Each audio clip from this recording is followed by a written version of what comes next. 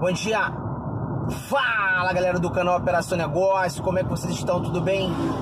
Espero que todos estejam bem.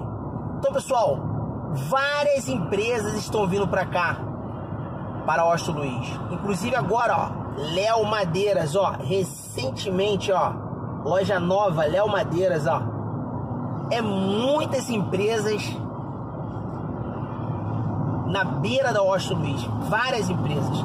A Osto Luiz se tornou uma da maior fonte, né, do polo moveleiro de Duque de Caxias.